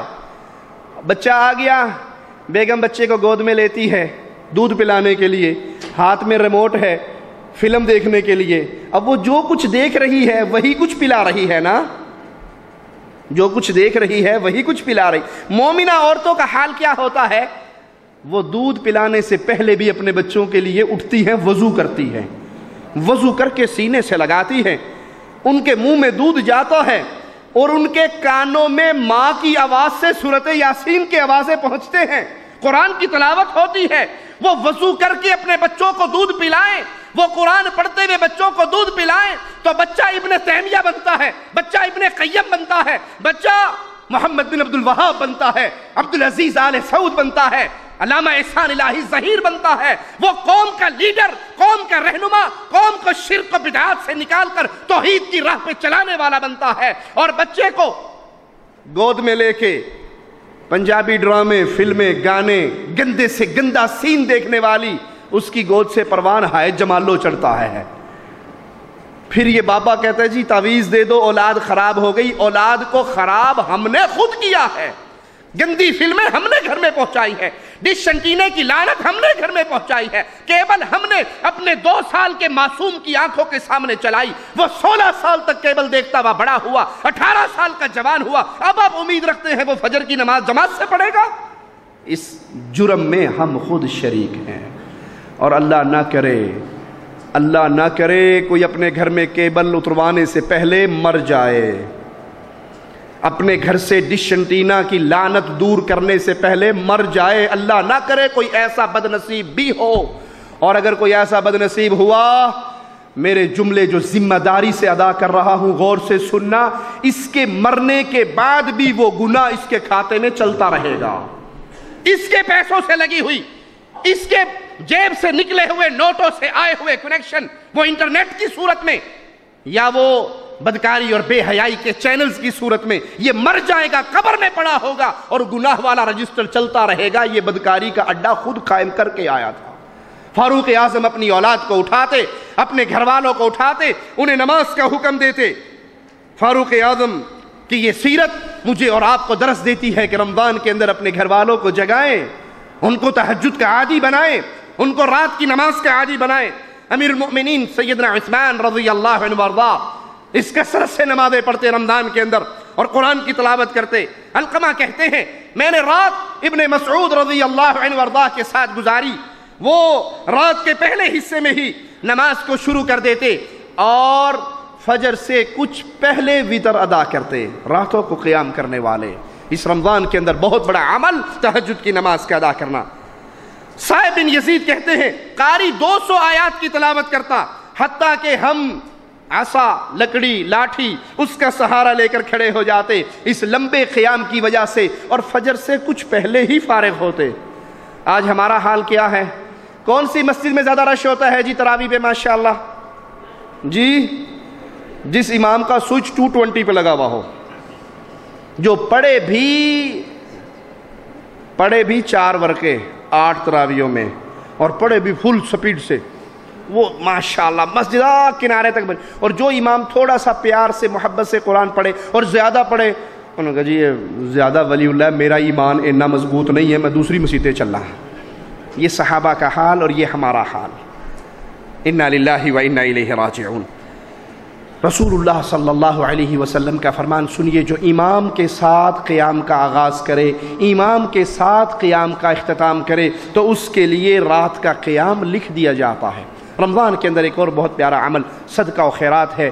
مسلمان بھائیوں پہ صدقہ کرنا، غریبوں، یتیموں، بیواؤں، مسکینوں کی مدد کرنا، ان کے ساتھ تعاون کرنا، اپنا مال اللہ کے لیے خرچ کرنا۔ یاد کیجیے، کنواں، سمجھتے ہو نا کنواں؟ اس میں پانی ہوتا ہے۔ کنویں سے جتنا پانی نکال لو تو نیچے سے تازہ پانی اور آتا ہے یا نہیں؟ جی اور جس کنویں سے پانی کا ڈول نہ نکالا جائے، وہ کھڑا کھڑا بو مار جاتا ہے۔ اس میں تو اور نہیں آتا نا؟ یہ مثال ہے صدقے کی، جو اللہ کے لیے اپنی جیب سے نکالتا ہے، اللہ اس کی جیب میں اس سے زیادہ ڈال دیتا ہے۔ اور جس کی جیب بند ہے، وہ ساری عمر گنتا گنتا مر جاتا ہے۔ وہ اللہ کی توفیق سے خود قبر میں جاتا ہے اور پچھلے پھر اس کے خوب مزے کرتے ہیں۔ تو اپنا مال خود تو کھاؤ۔ پیارے حبیب نے آگے سیدہ کائنات سے پوچھا، وہ بکرا ذبح کیا تھا، کچھ بچا ہے؟ کچھ ہے گوشت؟ کہ اللہ کے نبی صلی اللہ علیہ وسلم صرف ایک ران بچ گئی، باقی تو سارا بانٹ دیا۔ کہا، نہیں عائشہ، جو بٹا ہے وہ بچا ہے۔ جو غریب کے منہ میں گیا ہے، اس کا اجر ہمیں قیامت کے دن ملنے والا ہے۔ جو یہ ایک ران رہ گئی ہے، یہ تو ہم کھا کے ختم کر دیں گے۔ بچے گا وہ جو ہم نے اللہ کو دے دیا ہے۔ پیارے حبیب علیہ سلاۃ ترمدی میں آپ کا یہ عمل موجود ہے کہ آپ بڑے سخی تھے اور رمضان کا مہینہ آتا تو تیز آندھی کی طرح، تیز ہوا کی طرح، پیارے حبیب علیہ سلاۃ وسلام اللہ کے راستے میں صدقہ و خیرات کرتے۔ عمر ابن خطاب فرماتے ہیں، پیارے حبیب علیہ صلاحت وسلام نے صدقے کے لیے ہمیں حکم دیا۔ تو اس دن میرے جی میں آیا کہ آج میں ابو بکر کو ہراؤں گا، اس سے زیادہ صدقہ کروں گا۔ میں اپنے گھر میں گیا، گھر کا سارا مال اکٹھا کیا، اس کو آدھا آدھا کیا، آدھا گھر والوں کی ضرورت کے لیے چھوڑا، آدھا لے کر رسول اللہ صلی اللہ علیہ وسلم کے پاس حاضر ہوا۔ اور جی میں، میرے یہ ہے کہ آج جیت گیا میں ابو بکر سے، آج میں نمبر لے جاؤں گا۔ تھوڑی دیر گزری، پیارے حبیب پوچھتے ہیں، عمر کیا لائے ہو؟ کہا، یہ آپ کے قدموں میں ہے۔ کہا، گھر والوں کو کیا دے کر آئے ہو؟ کہا، اتنا ہی گھر والوں کو دے آیا ہوں۔ صدیق اکبر آئے، اپنا سارا سامان ڈھیر کر دیا۔ پیارے حبیب نے پوچھا، ابو بکر کیا لائے ہو؟ کہا، یا رسول اللہ صلی اللہ علیہ وسلم، گھر میں جو کچھ تھا وہ سب آپ کے قدموں میں ڈھیر کر دیا ہے۔ ابو بکر، گھر میں کیا چھوڑ کر آئے ہو؟ کہا، ابو بکر کے گھر کے اندر اللہ اور اس کے رسول کی محبت کا چراغ جل رہا ہے۔ فاروق اعظم کہتے ہیں، میں نے فیصلہ کر لیا، آج کے بعد زندگی میں کبھی ابو بکر سے مقابلہ نہیں کرنا، میں ابو بکر سے نہیں جیت سکتا۔ پیارے حبیب علیہ سلاۃ وسلام کی، اصحاب کی تربیت کا حال دیکھیے۔ طلحہ بن عبید اللہ پیارے حبیب کے ساتھیوں میں سے ایک دن اپنے گھر میں آتے ہیں، پریشان حال گھر میں داخل ہوتے ہیں۔ بیوی بی پوچھتی ہے، چہرے سے پریشانی ٹپک رہی ہے۔ کیا ماجرا ہے؟ جواب میں کہتے ہیں، پریشان اس لیے ہوں کہ میرا مال بہت زیادہ ہو گیا اور اس کی کثرت نے مجھے پریشان کر دیا۔ کہا، پریشانی کی کیا بات ہے؟ اللہ کے راستے میں بانٹ دیجیے۔ اللہ کے نام پہ صدقہ کر دیجیے۔ طلحہ بیٹھ کے اپنا مال بانٹنے کے لیے بانٹ رہے ہیں۔ سارا مال ختم ہو گیا۔ سائل پوچھتا ہے کہ طلحہ کے پاس مال کتنا تھا؟ کہا، چار لاکھ درہم تھے جو طلحہ نے اللہ کے راستے میں بانٹ دیا۔ مومنوں کی گھر والیاں بھی اہل ایمان ہوا کرتی ہیں۔ وہ عظیم تھے، ان کی بیوییں بھی اللہ معاف فرمائے، اگر آج کسی سے پوچھا جائے کو خامند اپنے گھر میں آئے اور کہے جی وہ کہے جی بیگم صاحبہ بڑا پریشان ہوں، مال بہت ہے، بینک بیلنس بہت ہے۔ وہ کہے گا، ٹوٹ پینے ہیں، کوئی اٹھ دس تولے دا سونے دا زیور دا سیٹی لے دے میں یہ مجلس کتنی پرانی ہوگی، تین سال پہلے آئی تھی، یہ بدل دے، قالین بدل دے، پردے نہیں لگا دے، بچوں کی جوتیاں لا دے۔ تجھے لوگ ہی نظر آتے ہیں، بیگم نظر نہیں آتی۔ قربان جائے ان کی عظمتوں پہ۔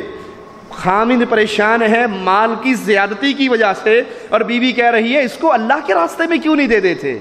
نیک لوگوں کی، گھر والیاں بھی نیک ہوا کرتی ہیں۔ تو اے پیارے بھائی، اس رمضان کے مبارک مہینے میں اپنے گردو، پیش میں دیکھیے، کوئی یتیم ہے، کوئی مسکین ہے، کوئی بیوہ ہے۔ اہل توحید شرط ہے، اہل توحید کا مال اہل توحید پہ خرچ ہوا کرتا ہے۔ اہل شرک کو قریب کرنے کے لیے ہدیہ تحفہ تحائف دیا جا سکتا ہے، لیکن پہلا حق اہل ایمان کا ہے، مواحدین کا ہے۔ ان پہ خرچ کیجیے، بھوکوں کو کھانا کھلائیے۔ اور یہ عمل کتنا پیارا ہے۔ مالک کا فرمان سنیے، اہل ایمان کی کیفیت مالک بیان کرتا ہے۔ وَيُطْعِمُونَ الطَّعَامَ عَلَى حُبِّهِ مِسْكِينًا وَيَتِيمًا وَأَسِيرًا۔ اہل ایمان اللہ کی محبت میں آ کر، یتیموں، مسکینوں قیدیوں کو کھانا کھلاتے اور وہ کھانا کیوں کھلاتے؟ انما نطعمکم لوجہ اللہ۔ ہم اللہ کو راضی کرنے کے لیے تمہیں کھانا کھلا رہے ہیں۔ اللہ نے ہمیں مال دیا ہے، وہ تم پہ صدقہ کر رہے ہیں۔ لا نريد منکم جزاء ولا شکورا۔ ہم نہ تم سے جزا چاہتے ہیں، بدلہ چاہتے ہیں، نہ مہربانی مہربانی کی صدائیں چاہتے ہیں۔ ہم تو تمہیں اس لیے کھلا رہے ہیں جس اللہ نے یہ مال دیا ہے، اس نے کل کو حساب بھی لینا ہے۔ اور مبارکباد کا مستحق ہے میرا وہ بھائی جس کا مال لا الہ الا اللہ کو پھیلانے پہ خرچ ہو۔ مبارکباد کا مستحق ہے وہ بھائی، جس کا مال رب کی وحدانیت کے عقیدے کے نشر پہ خرچ ہو۔ وہ قرآن کو ترجمے سے بانٹنے کی صورت میں، وہ کیسٹ سی ڈی کتاب مطویہ بانٹنے کی صورت میں، وہ مسجد مدرسہ بنانے کی صورت میں۔ جس حال میں بھی کوئی اللہ کی توحید کے جھنڈے کو، علم کو بلند کرنے کے لیے اپنا مال دیتا ہے، یہ مال قیامت کے دن اس کے سر پہ سایہ بن جائے گا۔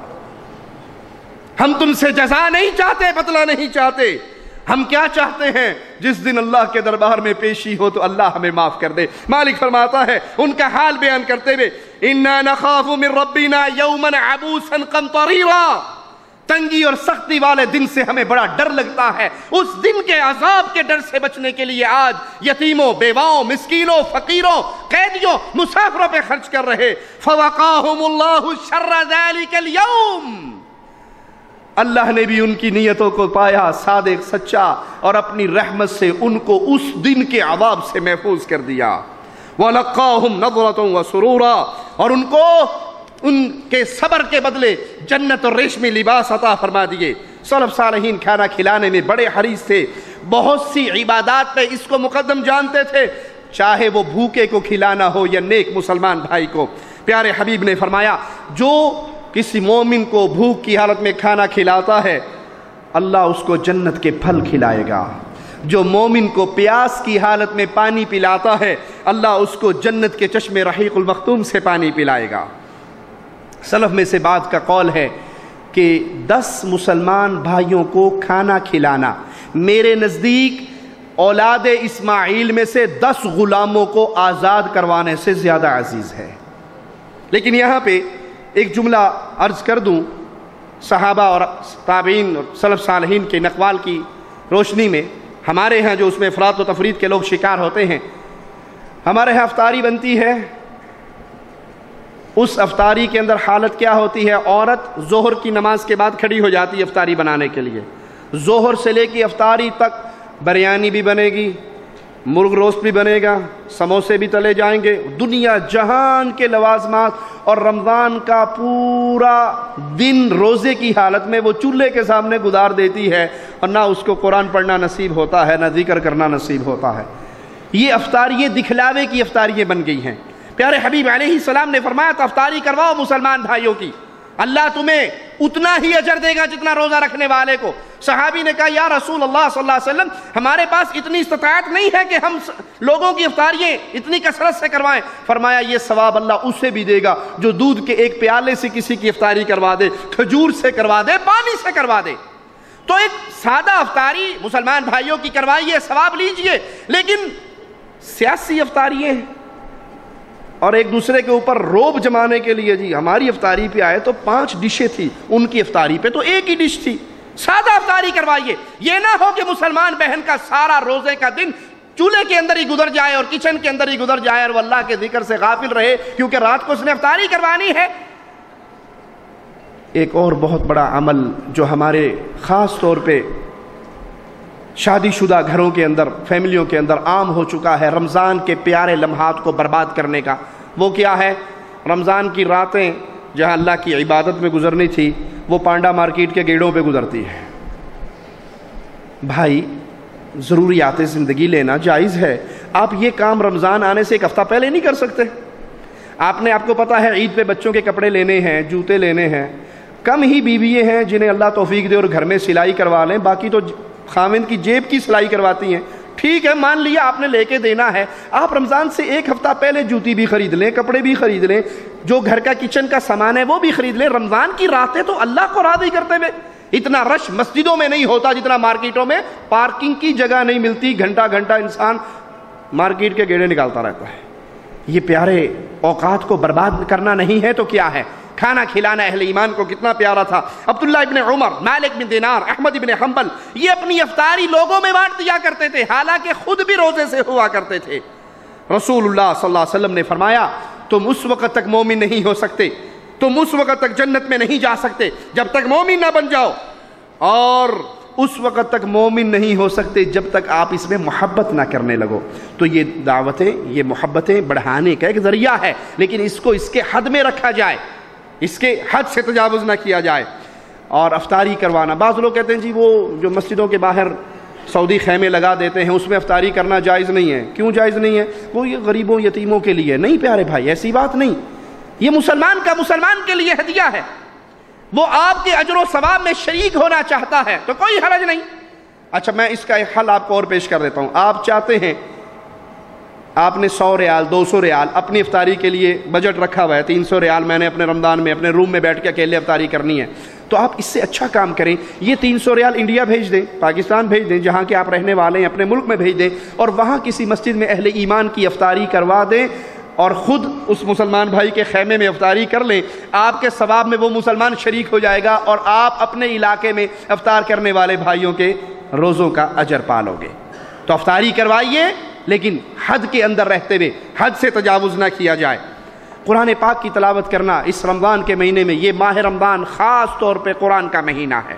باقی سارے کاموں سے فارغ ہو جائیں، چھوڑ دیں۔ نہ اس پورے مہینے میں جیو پہ خبریں دیکھنی ہے نہ کرکٹ میچ دیکھنے ہیں۔ یہ کرکٹ میچ تو ویسے ہی بربادی ہے جو اہل ایمان کا رشتہ اس کے اللہ سے توڑ دیتی ہے۔ میں نے ایسے ایسے لوگوں کو دیکھا جن کے گھر میں ٹی وی صرف انڈیا، پاکستان کی میچوں کرکٹ ٹیموں کے میچ دیکھنے کے لیے آیا، پھر دوبارہ نہیں نکلا۔ آیا تھا کرکٹ کے نام پہ۔ دیندار لوگوں کے گھر میں پھر وہ وہیں پہ رہ گیا اور بچوں کو بھی برباد کر دیا اور عورتوں کو بھی برباد کر دیا۔ یہ نمازوں سے روکنے والا عمل ہے۔ یہ نمازوں سے روکنے والا عمل ہے۔ کتنے ہی وہ نمازی ہیں کہ انڈیا پاکستان کا فائنل لگا ہوا ہو تو وہ دروازہ بند کر دیتے ہیں کہ اذان کی آواز اندر نہ آئے۔ آج میچ لگا ہوا ہے۔ تو یہ اللہ کی یاد سے غافل کرنے والا کام نہیں ہے۔ ہر چیز سے ہاتھ دھو لیجیے، قرآن سے جڑ جائیے۔ اہل ایمان کا حال کیا ہے؟ امام زہری رحمہ اللہ حدیث پڑھنے، پڑھانے کی مجلسوں کو رمضان میں چھوڑ دیا کرتے تھے۔ ہم تو کہہ رہے ہیں نا کہ اخباریں جہاں پڑھنا چھوڑ دو۔ عام دنوں میں بھی اور رمضان کے اندر لازم۔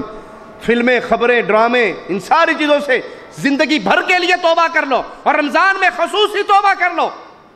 امام زہری رسول اللہ صلی اللہ علیہ وسلم کی احادیث پڑھانے کی مجلسوں میں شریک نہیں ہوا کرتے تھے اور کہا کرتے تھے رمضان کا مہینہ تو قرآن کا مہینہ ہے۔ اس مہینے میں قرآن کو پڑھیے، کثرت سے پڑھیے اور قرآن کو سمجھیے۔ صرف طوطے کی طرح سورت فاتحہ سے سورت ناز تک رٹے نہ ماریے۔ جی ماشاءاللہ میں پانچ قرآن ختم کر لے۔ ارے بھائی، اس پانچ دفعہ پڑھنے سے بہتر ہے کہ آپ ایک دفعہ ترجمے کے ساتھ تو پڑھ لو۔ آپ کو سمجھ تو آئے کہ اس میں میرا مالک کیا کہہ رہا ہے۔ پلے نہ پڑے اور آپ رٹے مارتے جائیں، اس کا ثواب آپ کو ضرور ملے گا۔ لیکن جہنم سے نجات کے لیے اس کا سمجھنا بھی بہت ضروری ہے۔ اس قرآن سے اپنا رشتہ جوڑیے، ان گمراہ مولویوں سے رشتہ توڑیے جو پٹی پڑھاتے ہیں۔ قرآن سمجھنے کے لیے پندرہ علوم کی ضرورت ہے۔ خبردار، ترجمے والے قرآن کو ہاتھ نہ لگانا، گمراہ ہو جاؤ گے۔ تیرے ورگا گمراہ کوئی اور جمے گا جو قرآن سے روکتا ہے؟ قرآن پڑھ کے انسان ہدایت پاتا ہے یا گمراہ ہوتا ہے؟ جس کے دل میں ایمان کی شمع جل رہی ہوتی ہے، ہدایت کو تلاش کرتا ہے، تو ہدایت کا نور اسے مولویوں کی کتابوں میں نہیں، عرش والے کے کلام میں ملتا ہے۔ اس قرآن سے تعلق لگائیے، تعلق جوڑیے۔ سفیان ثوری رحمہ اللہ، اس رمضان کے اندر باقی ساری مجلسوں کو ترک کر کے قرآن کی مجلس میں بیٹھ جاتے، قرآن پڑھتے۔ صحیح بخاری میں ہے، پیارے حبیب علیہ والسلام نے ابن مسعود سے کہا، ابن مسعود مجھے قرآن سناؤ۔ کہتے ہیں، یا رسول اللہ صلی اللہ علیہ وسلم، میں آپ کو قرآن سناؤں؟ قرآن تو آپ پہ نازل ہوا ہے۔ کہ میرا جی چاہتا ہے میں کسی اور سے قرآن سنوں۔ ابن مسعود نے صورت نساء پڑھنی شروع کی اور جب اس آیت پہ پہنچے، فَكَيْفَ إِذَا جِئْنَا مِن كُلِّ أُمَّةٍ بِشَهِيدٍ وَجِئْنَا بِكَ عَلَى هَؤُلَاءِ شَهِيدًا۔ پیارے حبیب علیہ السلام فرماتے ہیں، خاموش ہو جاؤ، حسبک، بس کرو۔ ابن مسعود کہتے ہیں میں نے نگاہوں کو اٹھایا محمد کریم کے مبارک مکھڑے کو دیکھا تو آنسوؤں سے بھرا ہوا تھا. پیارے حبیب علیہ السلام اس منظر کو یاد کر کے رونے لگے. بہکی میں ابو حریرہ سے روایت ہے رضی اللہ عنہ وارضا کہ جب یہ آیت نازل ہوئی، افا هذا الحدیث تعجبون وتضحكون ولا تبكون تو اہل صفہ رونے لگے۔ ان کو دیکھ کر پیارے حبیب محمد کریم صلی اللہ علیہ وسلم بھی رونے لگے اور آپ کو دیکھ کر تمام اصحاب رونے لگے۔ آپ نے فرمایا، میرے صحابہ، جو قرآن، جو اللہ کے ڈر سے روتا ہے، جو مالک کے عذاب کے ڈر سے روتا ہے، ایسے چہرے پہ اللہ جہنم کی آگ کو حرام کر دیتا ہے۔ تو قرآن سے رشتہ لگائیے۔ ہم روئیں گے کب قرآن کو پڑھتے ہوئے؟ جب ہمیں سمجھ آئے گا۔ جب ہمارے پلے پڑے گا۔ جب ہمارے دل میں اترے گا۔ تبھی ہماری آنکھوں سے آنسو بہیں گے۔ اور جب تک ہمیں پتہ ہی نہ ہو اس آیت کا معنی کیا ہے، یہ آیت درس کیا دیتی ہے؟ روکتی کس بات سے ہے؟ مسجد کے اندر فجر کی نماز ادا کر کے بیٹھنا، یہاں تک کہ فجر طلوع ہو جائے اور پھر انسان دو رکھتے پڑھ کے اس مسجد سے نکلے۔ یہ کتنا بڑا عمل ہے۔ صحیح مسلم میں پیارے حبیب علیہ صلاۃ والسلام کا یہ فرمان موجود ہے۔ سنیے، آپ فرماتے ہیں، جب فجر پڑھ لیتے، آپ اپنی جگہ پہ بیٹھے رہتے۔ پیارے حبیب، فجر کے بعد اپنی جگہ پہ بیٹھے رہتے۔ یہاں تک کہ سورج طلوع ہو جاتا، اللہ کا ذکر کرتے رہتے اور پھر دو رکعت پڑھ کے اس مجلس سے اٹھتے۔ تو آپ نے فرمایا، جو فجر پڑھ کے مسجد میں بیٹھے، اللہ کا ذکر کرے اور پھر دو رکت ادا کرے۔ اللہ اس کو حج اور عمرے کا ثواب دیتا ہے، پورے کا پورے کا پورے کا۔ حج پہ جاتے ہوئے کتنا خرچہ ہوتا ہے؟ پانچ ہزار ریال تو کم از کم لگتے ہیں نا تصریح کے ساتھ حج کرو گے تو۔ پانچ ہزار لگتے ہیں اور ڈیلی آپ کو حج کا ثواب، عمرے کا ثواب، پورے کا، مقبول کا۔ اس سے بڑی اور کیا نیکی ہے؟ یہ عام دنوں کا حال ہے اور رمضان کے دنوں میں یہ ثواب کتنا بڑھ جائے گا؟ اسی طرح اعتکاف ایک ایسا عمل ہے جو رمضان کے مہینے میں صحیح بخاری میں ہے، پیارے حبیب علیہ صلاۃ والسلام۔ ہر رمضان میں دس دن کا اعتکاف کرتے اور جس سال پیارے حبیب علیہ صلاۃ والسلام فوت ہوئے اللہ کی جنتوں کے مہمان بنے۔ اس سال آپ نے بیس دن کا اعتکاف کیا۔ رمضان کے اندر عمرہ کرنا ایک ایسا عمل ہے۔ صحیح بخاری میں پیارے حبیب علیہ صلاۃ والسلام کا یہ فرمان ہے، جس نے رمضان میں عمرہ کیا، اس کو اتنا ثواب ملتا ہے گویا اس نے حج کیا۔ اور ایک روایت میں یہ ہے، گویا اس نے محمد الرسول اللہ کے ساتھ حج کیا، صلی اللہ علیہ وسلم۔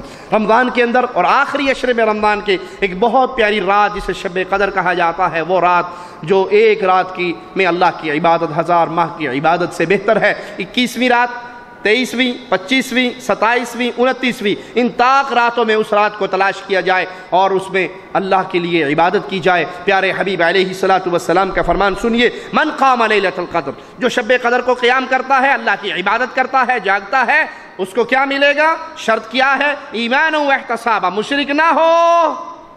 پھر اسی جہاں سے آغاز ہوا تھا، وہیں پہ اختتام ہو رہا ہے۔ وہ شب قدر کو قیام کرے، مشرک نہ ہو۔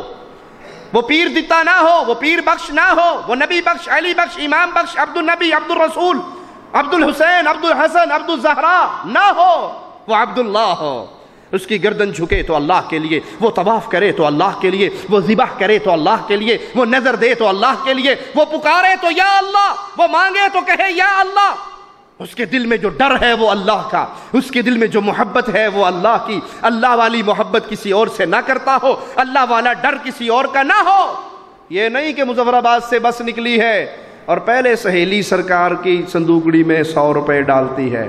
اس سے پوچھو ابھی ابھی تو آپ نے سواریوں سے ٹکٹ لیا نہیں اور پہلے یا ہاں جی اسے نہیں جاننے ہونا بڑے پیر صاحب ہونے نے، ادھر اگر پیسے نہ دو، چلتی بس نو پٹھا کر دیں دینے انا للہ و انا الیہ اللہ کا وہ خوف نہیں ہے جو مردوں کا خوف ہم نے اپنے دلوں میں بٹھا لیا۔ آپ نے دیکھا نہیں گاڑیوں کے آگے جوتی بندی ہوئی؟ دیکھی ہے کبھی؟ گاڑی کے آگے جوتی بندی ہوئی دیکھی ہے؟ مکان کے اوپر کالی ہنڈیا الٹی دیکھی ہے؟ کیوں رکھتے ہیں؟ ہاں تسی نہیں جاننے ہونا ہے جوتی اگے بن لو تو ایکسیڈنٹ نہیں ہونا نا۔ یہ ہنڈیا ہو جی نہیں، نظر بد نہیں لگتی۔ سر پہ ہنڈیا رکھ لو، گلے میں جوتیوں کا ہار ڈال لو، تمہیں بھی نہیں لگے گی۔ انا للہ و انا الیہ راجعون۔ جس قوم کا عقیدہ جوتیوں پہ آ جائے، میں اللہ کا واسطہ دے کے پوچھتا ہوں، اس کے سر میں یہود و نصارہ کی جوتیاں نہیں برسے گی؟ آج یہود و نصارہ مسلمانوں پہ ظلم کی چکی چلا رہے ہیں۔ وہ شام کا میدان ہو یا افغانستان کا میدان ہو یا کشمیر کا میدان، ہر طرف مسلمان کٹتے مرتے نظر آ رہے ہیں۔ کیوں؟ رحمان سے رشتہ ٹوٹ گیا ہے۔ رحمان سے رشتہ ٹوٹ گیا ہے۔ توحید کی غیرت ختم ہو گئی ہے۔ ایمان کا عقیدہ مٹ گیا ہے۔ سوپور، انڈیا، کشمیر کا ایک چھوٹا سا گاؤں ہے سوپور۔ اس کی ویڈیو میں نے اپنی آنکھوں سے دیکھی، میرے پاس موجود ہے۔ اللہ کی قسم، بابا آہد نامی ایک بابا جو سر کے بالوں سے لے کے پاؤں کے ناخن تک ننگا ہے۔ وہ ایک پارک میں بیٹھا ہے اور سینکڑوں کے حساب سے نوجوان لڑکیاں وہ پارک بند ہے، گیٹ لگا ہوا ہے۔ اس کی جالیوں میں انگلیاں دے کے کشمیری زبان میں بابا بابا بابا تو خدا دی بابا، کچھ تے کرم کر دے۔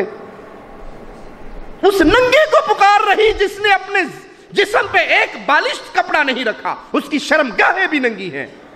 صوفے کی کرسی پہ بیٹھا ہوا، اٹھ کے نیچے آتا ہے۔ اٹھارہ، انیس سال کی لڑکیاں تھالوں میں کھانا سجا کے اس کے قدموں میں آگے بیٹھتی ہیں اور وہ ننگا بیٹھ کے ان کے سامنے کھانا کھاتا ہے۔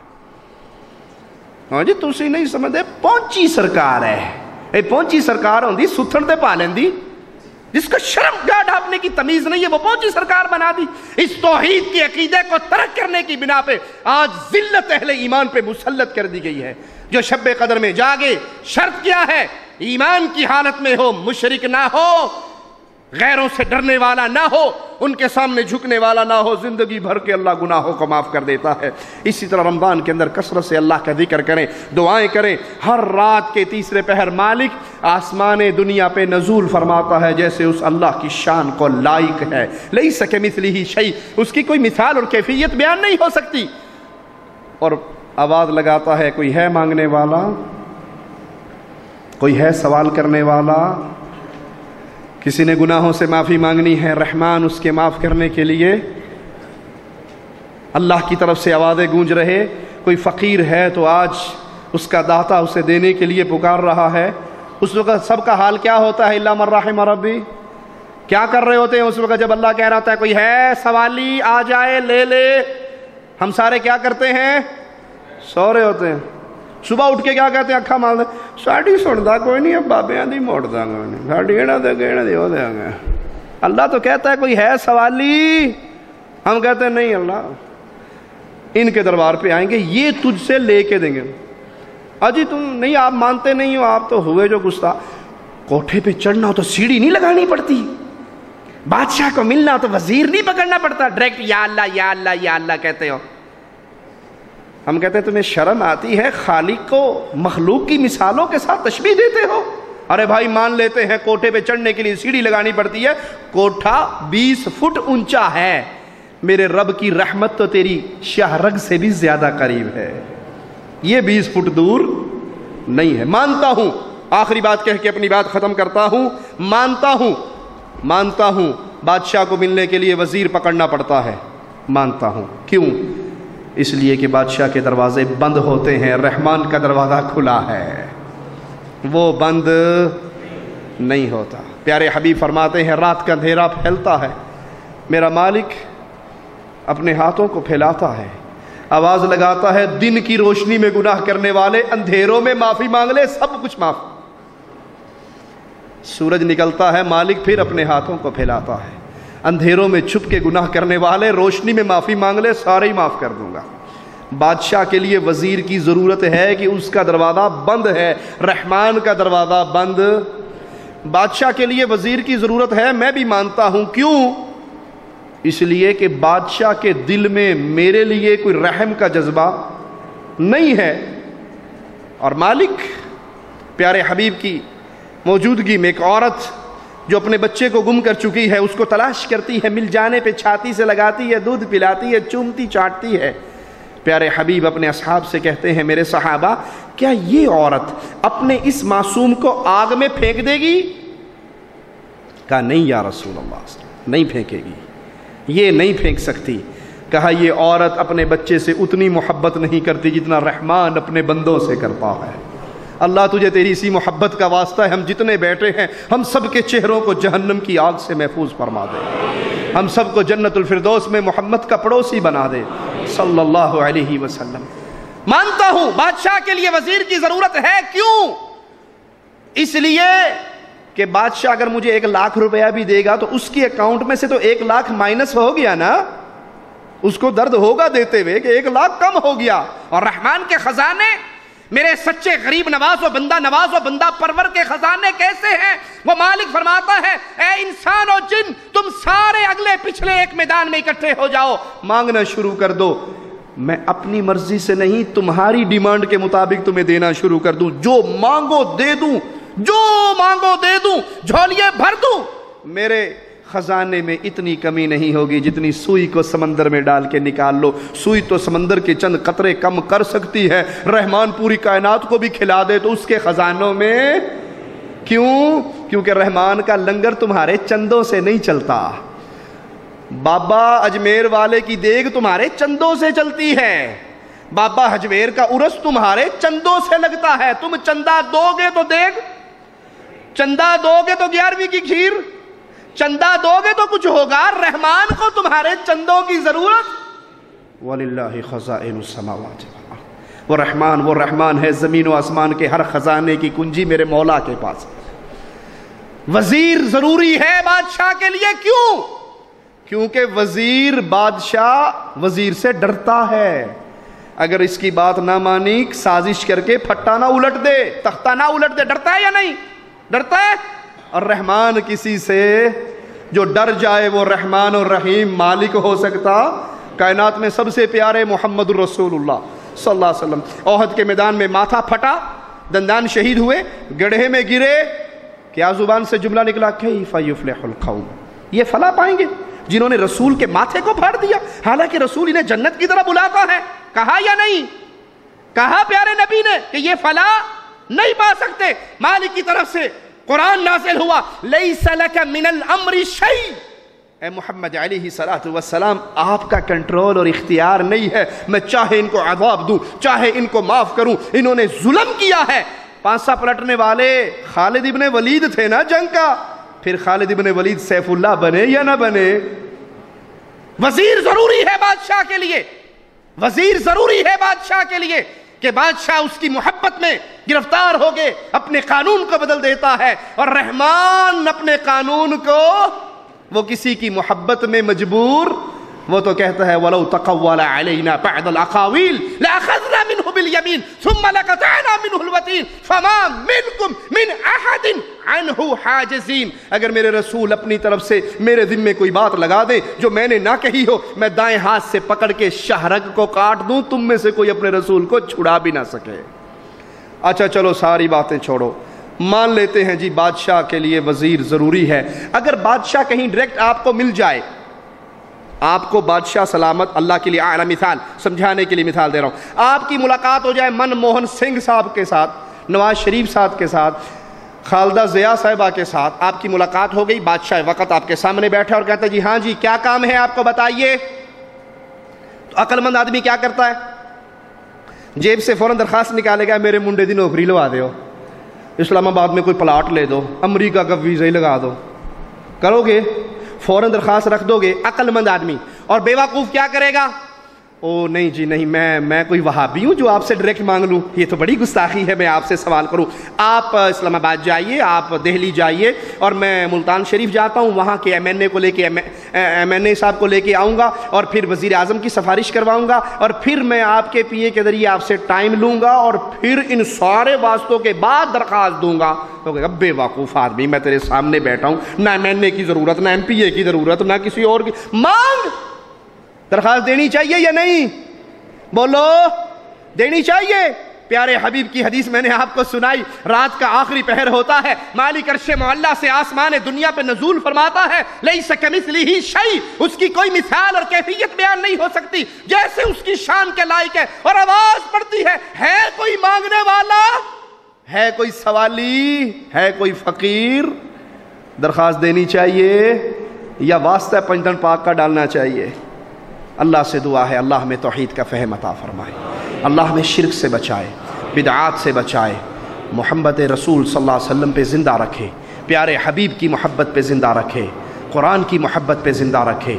ایمان پہ زندہ رکھے۔ اللہ جب تک زندہ رکھنا، توحید پہ رکھنا۔ جب موت دینا، توحید کی دعوت دیتے ہوئے شہادت کی موت دینا۔ اللہ قیامت کے دن ہم تیرے دربار میں اس حال میں پیش ہوں۔ کہ ہمارے زخم کھلے ہوئے ہوں، خون بہتا ہو، رنگ خون کا ہو، خوشبو کستوری کی ہو۔ اور تو پوچھے، بندے، تو نے یہ کیوں کیا؟ تو ہم کہیں، اے اللہ، جان تو نے دی تھی، تیری توحید کا آوازہ لگاتے ہوئے اہل شرک کے ہاتھوں شہید ہو کے تیرے دربار میں آئے۔ اللہ اللہ تجھے تیرے پیارے چہرے کا واسطہ ہے۔ مولا، ہم جتنے یہاں بیٹھے ہیں، سب کو جنت الفردوس میں اکٹھا فرمانا۔ پیارے حبیب کے پڑوس میں اکٹھا فرمانا۔ اللہ، جنت کی سب سے بڑی نعمت۔ مولا، جنت کی سب سے بڑی نعمت تیرے پیارے چہرے کا دیدار ہوگا۔ ربا، ہمیں بھی ان پیاروں میں شامل کر دے۔ ہمیں بھی ان پیاروں میں شامل فرما دے۔ اپنے فضل سے، اپنے کرم سے، اپنی رحمت سے ہمارے اعمال اس قابل نہیں۔ مولا اپنی رحمت سے ہمیں بھی ان پیاروں میں شامل کر دے جو جنت الفردوس میں نور کے ممبروں پہ بیٹھ کے تیرے پیارے چہرے کا دیدار کریں گے۔ اقول قولی هذا واستغفر الله لي ولكم ولسائر المسلمين فاستغفروه إنه هو الغفور الرحيم